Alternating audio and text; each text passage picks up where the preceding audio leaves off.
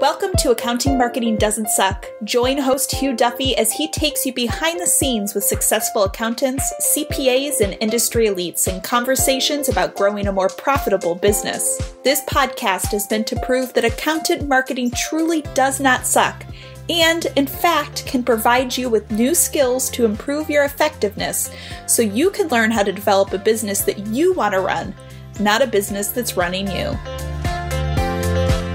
Welcome to Accounting Marketing Does Not Suck podcast. Today's session is with Scott Zarret, president of CPA Academy. And uh, the reason that uh, we have Scott here is that CPA Academy is the largest provider of CPE webinars to the accounting industry.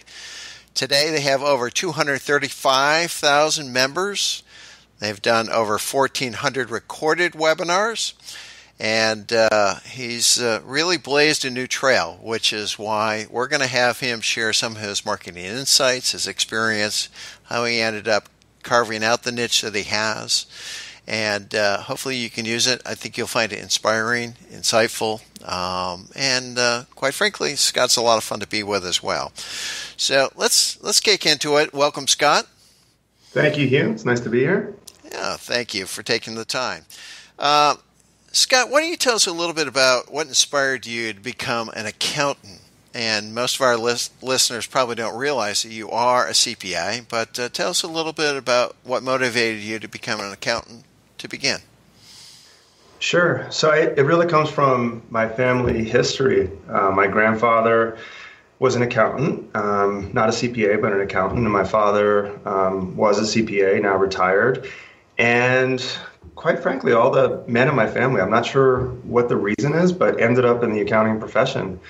And so I had assumed that the apple didn't fall far from the tree. And when I went to school and it was time to pick out my major, uh, I went with accounting and didn't really didn't really think twice. Um, and I think it wasn't until after I graduated from college and, and got my first job that I thought maybe I should have thought a little bit further about this because there were a lot of other areas that I was interested in, but it's just it's the path I went down and I think what was most appealing to it was not necessarily the thought of working for a public accounting firm, but the idea that whatever business at some point in my life I decided to create, uh, accounting would, of course, come in extremely helpful for understanding the foundation of any business. And so, fortunately, I was able to really make the most of my career choice, but there were some second there was some second guessing going on, especially during the process of studying for that CPA exam. Then I really then I really had to question my decision. I remember calling my dad one day and saying, Dad, why don't you tell me how hard this exam was? And he said, I, I think I forgot, first of all, but um, he just didn't think about that either. So I went down that road and found myself in public accounting right out of college and really uh, it was a great firm. Um, it was a large firm. I grew up in Maryland, and that's that's where I started working for Reznick Fedder and Silverman, which was the biggest employer out of the, the DC area. And I was there for a few years. And at what point in time did you question it? Was it during the CPA certification testing, or was it uh, when you first started six months into the job? Tell us a little bit about that. Well, on a personal note, I had just come back right after college. I went to, to Europe for about three months and had the time of my life and came back and literally the next day I started studying for the CPA exam. So I don't think anyone can prepare for that jarring of a response. But between that and, and actually starting at the public accounting firm and, and just being so ingrained in details, um, you know, I really, I, just felt it may not have been a great fit. You know, my personality is more um, entrepreneurial, more um, I just have a broader interest, and I just, I, I, for whatever reason, I just wasn't feeling inspired by the technical work that I was doing, and so I think the combination of working nonstop, you know, studying for the CPA exam, and um, and and working a full time job meant I was working pretty much seven days a week, and it was it was a rough start. It took me a while, um, really, to to land back on my feet, but um, out of the gate, I, you know, it was it was tough. And how long did you stay at Reznick? I was there until I passed the CPA exam.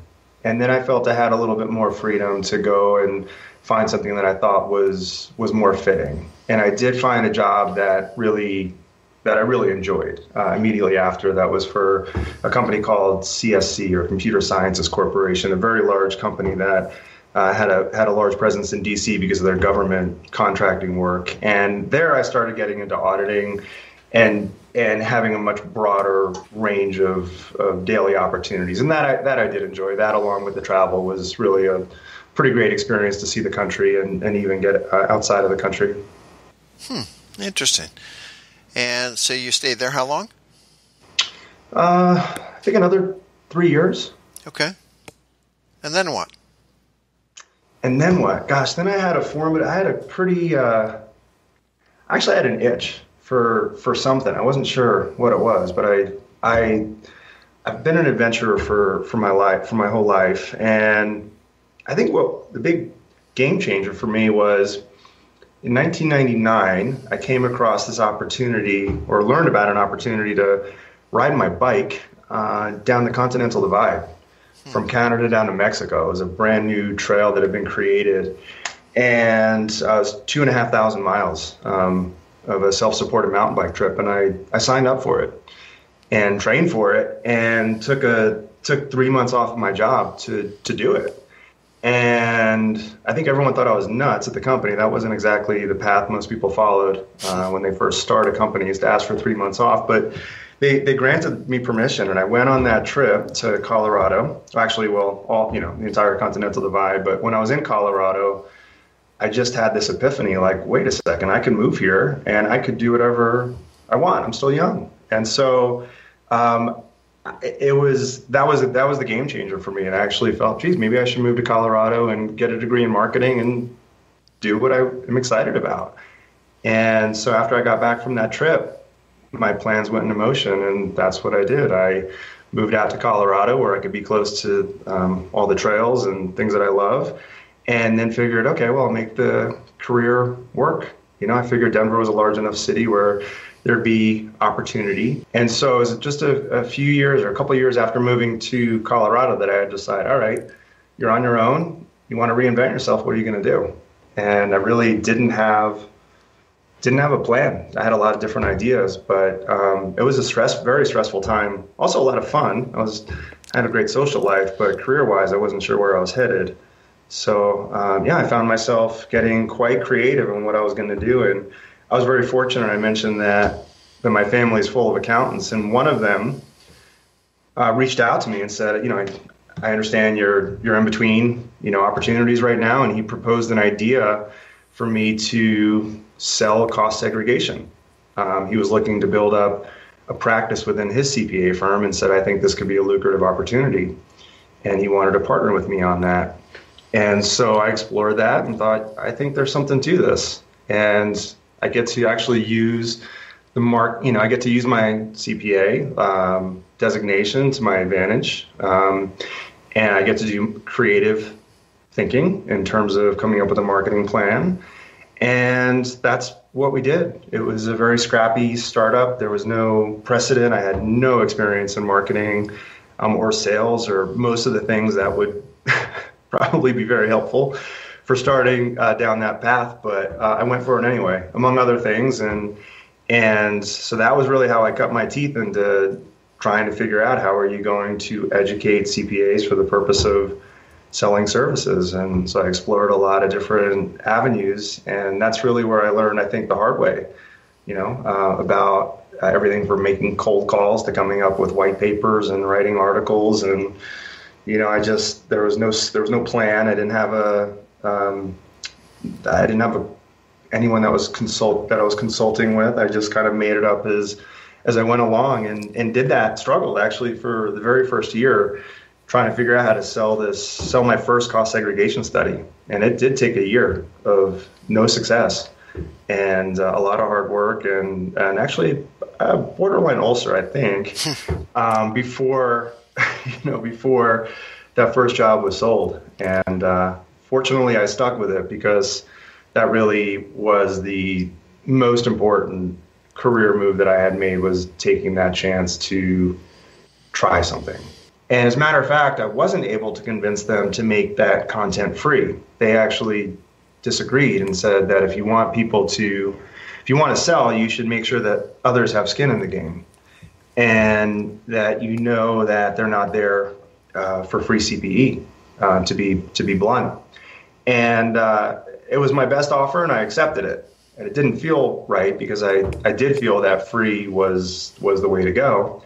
And we so we started by charging for content. So um, point is, I haven't yet figured it out at this at this point. And then I realized I was comping just about everybody to come to these classes because I wanted to sell to them, I didn't want the $45 to be the obstacle for a $10,000 sale. So it started comping everybody everywhere.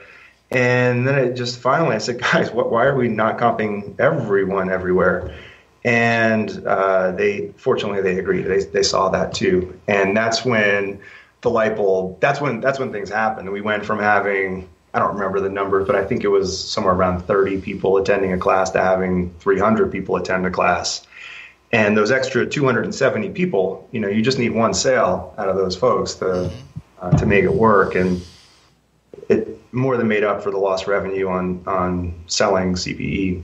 And so that was uh, that was quite a moment, quite a discovery. Was when we we had agreement on that, and it worked, and we sold a lot, and we kept growing and growing, and um, we hit about 20 we processed about 25,000 registrations.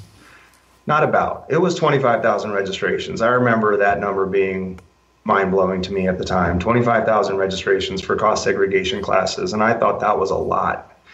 It is a lot. If, if there's only you know 2,000 working hours in a year and you got you know that's a lot. Any way you look at it it's a lot. And so um, it, it really worked. And and when that light bulb went off, it was so weird because it wasn't it wasn't like this. I don't know. I, I, was actually a friend of mine, and one day I just shot him a note, and I was like, "I think this thing that we're doing for this one company works for pretty much every company that you know you that's trying to sell the CPAs. Any company that would certainly rent out a space in an exhibit hall uh, would be a, a possible candidate." And it just was one of those moments like I, I don't I can't figure out why this wouldn't be a why this model of using education to position yourself as a thought leader to sell services wouldn't apply to, to just about everybody. And he agreed instantly. I mean, it was like a no-brainer. We didn't even call. I didn't even call him. I just emailed him. He's like, "Yep, makes sense. Let's do it." I was like, "Yeah, it is pretty obvious that that's that that's a good model." And uh, I think having someone else validate it like that uh, who was also on the IT side of things, made me realize this is a this is yes, it's a marketing tool, but it's also a software company in in many ways. And so no, I never went back at that moment. I mean, that was that was the moment where I realized, you know, I'm a little tired of selling the same thing every day. I've been teaching these same classes for six years. It gets pretty boring to hear yourself say the same thing for six years. And be so limited in what you're talking about. And while I enjoyed the process of building out this LMS, essentially, this learning management system using WordPress, it was still highly inefficient. And I felt that there was so much opportunity for, for really um, creating a single shared platform where all types of content could be found. I mean, did I know how to get there? I mean, absolutely not. I had I had already pulled off a miracle that I that I was able to sell effectively for a company and be able to do what I was doing in a pretty short period of time. But the idea of going off on my own and creating this platform uh, that didn't exist uh, that was that was pretty horrifying. Uh, but on the other hand, I think, I mean, how many people do you do you hear talk about an idea that they wish that that they knew was so smart, but they just never they never decided to pull the trigger and and they regret it. I just thought I don't need to I don't need to be like that. So, Scott, how Scott. long did you invest into the commercialization of your idea? How long did you kick it around, think about it before it came out and it became, okay, I'm going to give up my my paying job, mm-hmm. and this is what I'm going to do? How long did you kick that around? Mm, gosh, you know, I don't. It's a great question. I don't remember the exact uh, for those of you who have had kids, you know that your memory is a little fuzzy uh, around those time frames. At least mine was. Um, it was at least a year and a half of due diligence, and that that time was not kind of like poking around. It was intense. Um, it was burning, you know, the candle at both ends. It was um, you know, doing all the things that you're supposed to do, a SWOT analysis. Uh, I mean, I I would say that from that day I told you, I emailed a friend of mine. Um, it never waned. It just it just picked up steam, and I'm sure some of that time was unproductive in retrospect, but uh, I obsessed essentially uh, until I quit my job, which was uh, this will sound weird. Uh, about a week was exactly one week before my first son was born. So it's easy for me to remember how old my business is because he was born on February 6th of 2012. And so that was that was really when uh, this world became a totally different one to me. Um, when I quit my job and um, I remember working on it, very uh, working in the emergency room, waiting for for the birth. I mean, I was working nonstop. Um, my honeymoon, uh, embarrassed to say, I was working on my honeymoon. No, but, I get I get the motivation. I really do, especially with the responsibility. How since our listeners don't think about how large the education market is for the accounting space here in the U.S., it's probably the first thing you try to tackle and get your arms around. How big a business is it in dollars? Well, that's a that's a great question, and, and I didn't address that, but I, I, talked about the due diligence part where you're trying to prove out the business model. And even though my background is uh, as a CPA, I am a CPA, and I had experience in using CPE to my advantage um, with specifically cost segregation. When I decided even after I had sent my buddy the note and said, "Why aren't Why aren't we doing this?" One of the first things that that we did on that on that SWOT analysis was go, okay, well, CPAs we know is one option, but what about real estate folks? What about attorneys? What about architects? Uh, there's a lot of professions out there that have CPE, and so we put together a spreadsheet. How many hours per year uh, does each require? Um, how many people are in each profession? What's the what's the nature of people? Like, for example, doctors don't sit at home and watch webinars. They go to the hospital and watch them with their colleagues. Um, real estate people, quite social, don't want to sit at home and watch webinars. They want to go to someone's office and sit around and talk, you know, and connect. CPAs, uh, definitely good contenders. Uh, very happy to be at home in their office, uh, taking technical content, 40 hours per year. There's 600,000 plus of them. And when you when you do the math, on all of them, 600,000 plus CPAs with 40 hours per year continuing education requirements is 24 million there alone. There is nowhere that I'm familiar with that will tell you, I don't think there's anywhere that, it, that it's recorded, out of the 24 million hours that are required by active CPAs, what percentage of people are taking that in a live setting, self study, or group internet based? And how many of them are taking courses within the, you know, provided by colleagues of their own firm? there really isn't. If there is data, please someone send it to me because I can't find it. Um, so I've been going blind this whole time and saying there's 24 million hours of continuing ed. That's if people met that just the minimum. And then you've got enrolled agents, you have registered tax return, tax return preparers, right? So that adds up significantly. And then you look at people that take classes not because they need CPE, but they go above the 40 hours no one knows how many of those folks there are, how many are taking 50 hours. And quite frankly, I don't think people even thought about, a lot of people didn't even think about taking more than 40 hours until they realized that the content was actually enjoyable. It just felt like something they had to check off. And so I don't know the answer. It's more than 25 million, probably more than 40 million. You know, if you count all the enrolled agents, I mean, it, it definitely is because they have 24 hours a year or every other year or something. And then there's all the attorneys and small business owners and uh, who else? CFOs, controllers, bookkeepers. You know, a lot of people who don't necessarily need CPE, who need the content.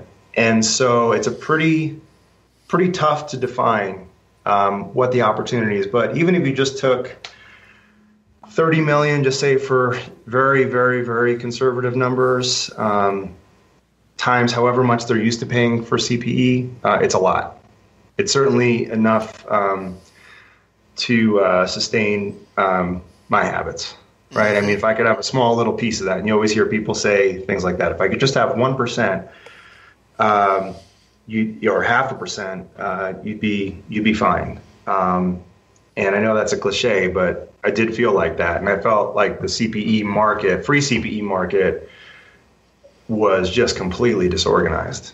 So I didn't know. I didn't know what the I didn't also didn't know what people what clients would be willing to pay for the opportunity to you know do CPE classes. Really didn't know any of that. No one no one did. There's no there's no precedent. So you've become the classic disruptor within the continuing education market for accountants, you know, and, and when we think of disruptors, you think of Stephen Jobs, you think of Uber, you think of Netflix, you think of Amazon, you think of Tesla who's turning the combustion engine upside down. What really gave you the confidence that you could really break into this market as a one man band, going up against some large publishers, going up against some large states to provide continuing education, and some of the other you know existing providers? You know, there are people. You named a lot of my my inspirational figures, and they each have uh, quite unique stories. Um, but the the classic story of disruption, uh, defined by uh, Clayton Christensen, um, is essentially that you start out small and you create something at a very low cost um, that is, um, you know, is is not of the highest quality, and you build up, right? So Tesla is the exact opposite example. This Tesla did something you, you define Elon Musk as a disruptor, which he is, but it's very unusual that someone starts with the most high end uh, vehicle, for example, and then works their way down to, in his case, the Model 3. It's usually the other way around. You start out with a really uh, inexpensive vehicle like Kia did, and then find yourself competing at the luxury market. And so, you know, I was at the low, low, low end. I was at when I first started, it was people that wanted free CPE. I mean, that's the risk is that you're creating a company that's going to be branded as a site full of infomercials. And I haven't gotten really into the business model, so maybe I'm getting a little bit ahead of myself. But I was starting out not competing against the, the large publishing companies, certainly not, you know, the, the um, you mentioned, you know, a couple different, I mean, AICPA is obviously, uh, is obviously uh, the most respected and, and deservedly so organization. You don't go in, I'd be, I'd have been certifiable to go in thinking that that was my, um, you know, that was my competition. I still don't see it that way. But when I, you have to remember that when I started, it was not because of an interest in disrupting the market. Unlike Steve Steve Jobs, who, I mean, that is no question that that's what he was. You know, he took he took um, quite a lot of pride in that. Um, I came in out of necessity for myself, right? So my story is that I needed a tool for myself to be able to sell, and I found an organization that supported that. And then I felt, well, if this works for me, this should work for others my goal was not to become a disruptor, not to, um, uh, I don't know, it just wasn't, it wasn't something, it wasn't actually a conscientious thought that I had that I want to go in and disrupt this space. It was like, I just want to show people that you shouldn't have to pay $10,000, which is what the going rate was at the time, and I think still is for some of the publication companies to host a webinar. I just thought, okay, I've done the math here. I know how much it costs to to uh, you know, to get a NASBA license, to get GoToWebinar, to you know, to acquire lists, uh, to do certain things, and uh, the number does not add up to ten thousand dollars. So I know I could do better than that. I don't know how much better. I don't know what I'm going to charge exactly, but I know I could do. I know if I know I could do better than that. And so when I first started, um, I mean, with again one client is not a lot to start with. Um, but yeah, I, I wasn't sure. I, I, wasn't sure how sustainable it was going to be. Um, and you know, I mentioned earlier that when I was with KB, um, KBKG was the firm I was referring to. I didn't mention them by name, but that's the company I was with selling cost seg. And I mentioned that 25,000 seemed like an awful lot of registrants. Um, I was proud. I was very proud of that number. But I hit that within maybe six months or so of creating my new company. And then you think, whoa, did I like underestimate this? Because I thought it was going to take me a long time to get there, and we just hit that extremely quickly. And now I'm really starting to wonder what happens when you start mixing all these ingredients together. Did I just, you know, did I create something that was I, did I get it right? You know, you don't know. Um, sure felt right. And so I think that all, all, all you can focus on is just trying to do better with what you're doing. Um, and fortunately for me, the fortunately for me, the, the business model was right. The, um, the, the timing was right. And that allowed me the ability to invest money back into the business, to be able to say no to certain clients that I felt were were going to help label me as an infomercial site, you know, much against my will. And um, I have to say that I actually wish I had a copy of what my site looked like back in 2012 because I'd probably get a kick out of it. But I, I am proud to say that what we are now versus what we are then is very, very different. Mm-hmm. And it happened uh, slowly, you know, like the expression with children, like the days are slow, the days are slow, but the years are fast.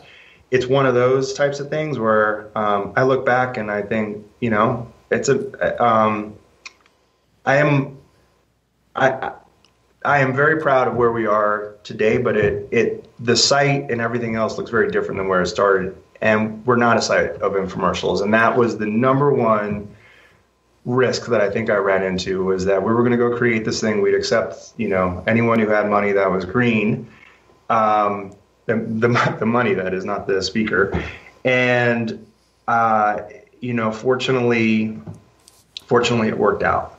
Um, Scott, let's go back to your business model because that's sure. where the big idea was. It's not charging the attendee. Tell us about how you were able to do this and provide the benefit to the person being educated this wonderful experience free of charge. Yeah, that is that is that that is the critical difference, um, and that really was the the the aha moment, and the one that I had back working selling cost segregation when I told you that we went from charging attendees to not charging and recognizing that the the attendance numbers went up tenfold. So that's the concept: is that um, if you want to attract large audiences, then the con- then the content has to be free. I mean, free is what can be free will be free is my favorite quote, and I think we've seen that play out um, just about everywhere. Think about why, when's the last time you paid for Wi-Fi? Uh, maybe you have, but probably didn't need to. Um, and the whole concept is what can be free will be free. And so the the basic concept is why are we charging the attendees to take content that's only going to help us when we could remove that barrier, have 10 times the number uh, of attendees and be able to sell ideally 10 times more. Um, and so the, the model was essentially flipped to charging the presenter based on how many attendees come. Now that that model wasn't exactly new to the market because there were publication companies that were charging literally $10,000 to host a webinar and giving that content away for free. The um, so there was nothing there's nothing revolutionary about making content free. As a matter of fact, if you want examples of that, just look outside the accounting profession. So there's I looked at it and thought, why is it taking the accounting profession so long to provide free content? Everyone else is doing it. Like, what is YouTube? Like, what is Khan Academy? What is TED Talks? What are these sites that are amazing? Why are they free and why is our content not free? And so the really the the um, the hardest part was figuring out what people would what presenters would be willing to pay per attendee because that number hadn't been set up before. And so um, that just took a little bit of trial and error to figure out what you know what someone would be willing to uh, to pay per person. And also, I had to be able to set expectations as to how many people we're even going to charge them for. How many, you know, they, if you're going to say your cost is X dollars per attendee, then the question would be, okay, how many attendees are there going to be? And so uh, a lot of unknowns, but that that became the business model. Is we're going to charge the presenter based on a, a setup fee for each unique class, and a per attendee fee based on how many people show up, not how many people sign up, but how many people actually come and listen. And then third, it's going to be a fee for sending out dedicated emails uh, to advertise the class. And so those are th- that concept, which started in 2012, has barely changed uh, to this date. There have been other services that have been added, self-study, which we haven't talked about. um, is highly complementary towards online education, and so are live conferences. But in a nutshell, 90 plus percent of the business is based on charging presenters based on how many attendees come to the session so they could use that information for lead generation purposes. So, uh, in some ways, we're an educational site, in some ways, we're lead generation site, in some ways, we're a software company. I'm not sure what we are exactly, um, but I, it's uh, it is based, I, I, think, mostly on lead generation and charging people based on lead. And if you look at our rates based on lead, it's we get told this. Actually, it's kind of heartbreaking when a client tells you that's really cheap. Uh, then you wonder, did I actually price this right? Um, but fortunately, because of the way we priced it, it allowed me not to just have a few clients, you know, not just have a few clients with deep pockets, but it allowed me to have um, hundreds of clients. So whether it's an extremely large company that does have deep pockets or it's someone who's got no budget, um, it, it was it was an appropriate model.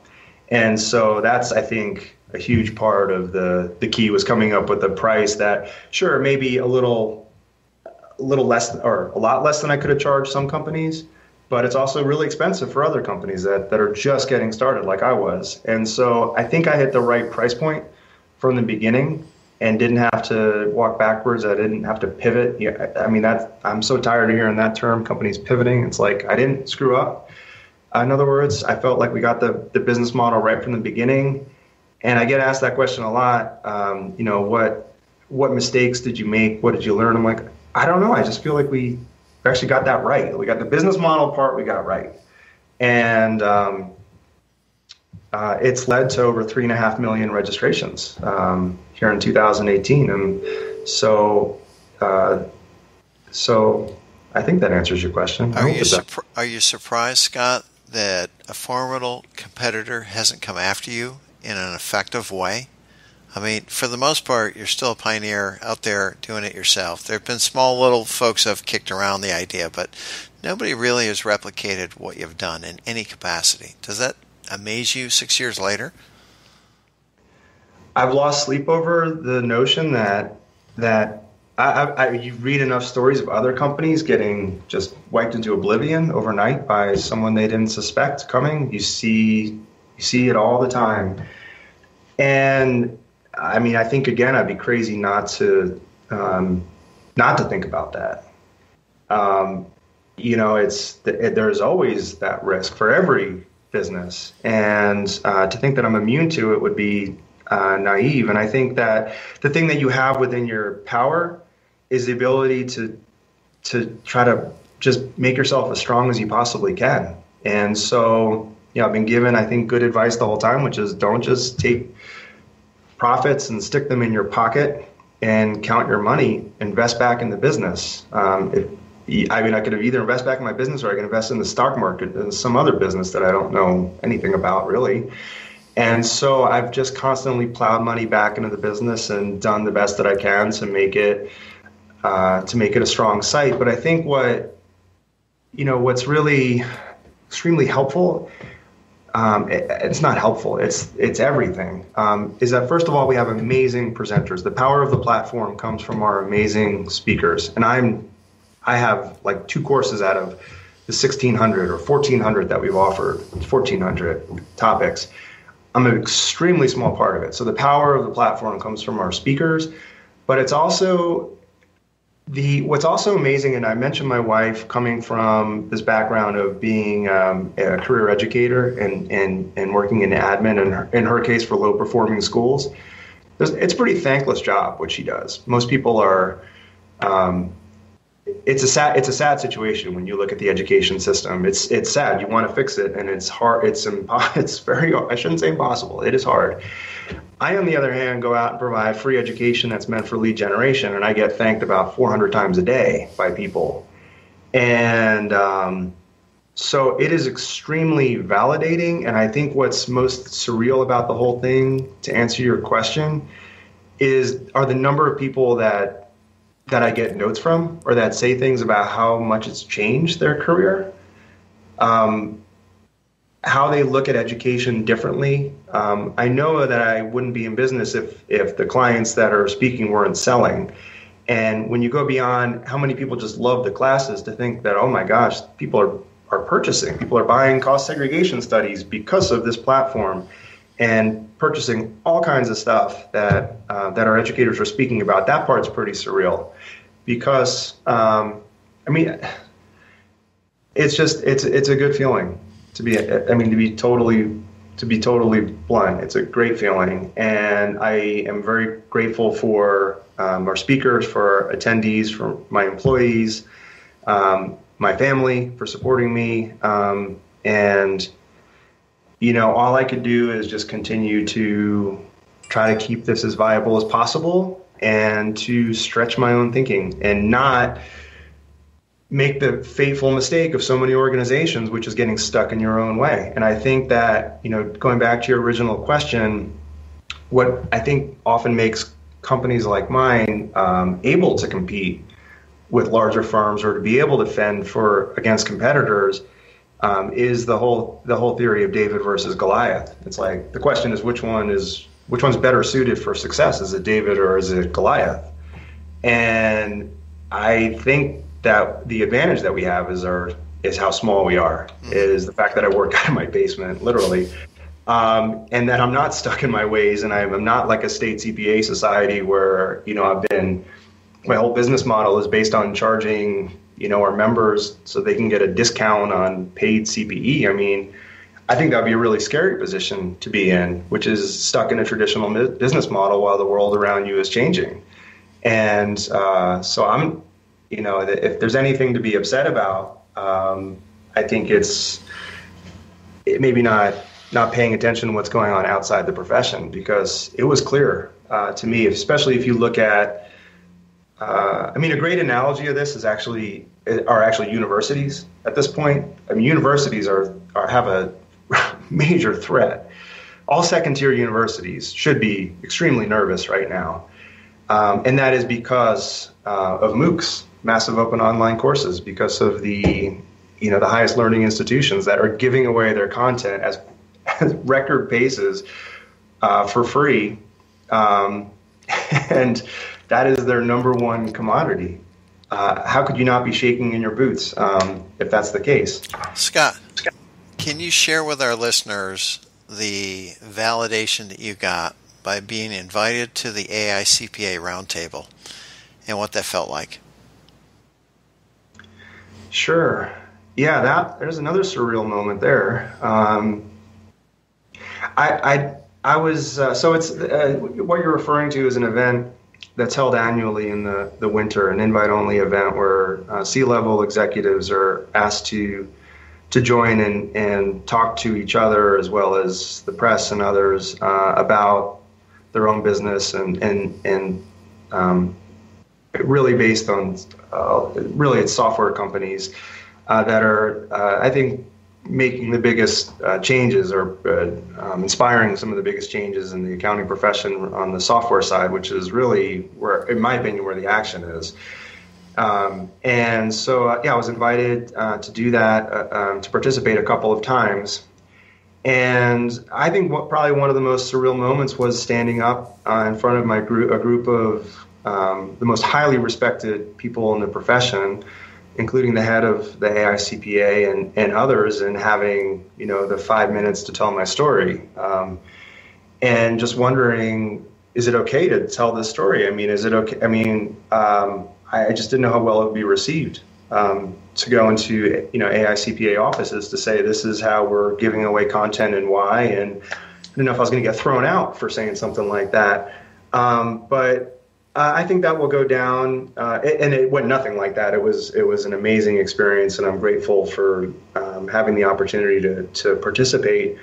Um, that was probably the most validating feeling that I've had to date, and I think that if you want to, I know you didn't ask this, but you know, I um, I don't I, I don't fit in a, a, category. I'm not the press. I'm not a software company. I'm not a marketing. I'm not part of AIM. I'm not part of like the marketing organization. It's like I often do feel um, I don't know if isolated is the right word, but I don't know who my peer group is.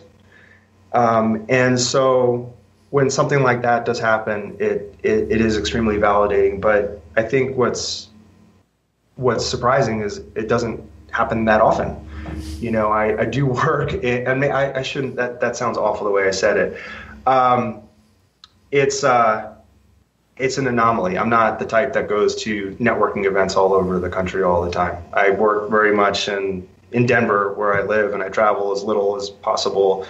And um, you know, so when I when I do get out and and um, get to go to uh, things like that, it's uh, it's one of those. I, I it's like being among. Uh, in my case, it, felt like being among uh, the celebrities of the. It, it was you are among the celebrities in the profession. It's scary and it's intimidating and it's exciting and it's like the best thing ever.